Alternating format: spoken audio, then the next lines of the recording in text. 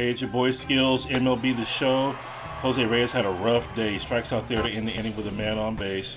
Next at bat, Matt Cain's fastball 18 inches outside. He don't care. He goes after it. Reyes looks foolish.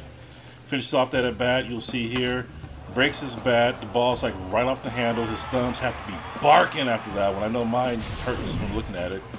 Then lastly, he gets a chopper up the line, hits it about 30 miles an hour, and then gets tagged in the nuts by Brandon Belt, almost knocking him on his ass. Yeah, that's how it goes. Sorry, Jose.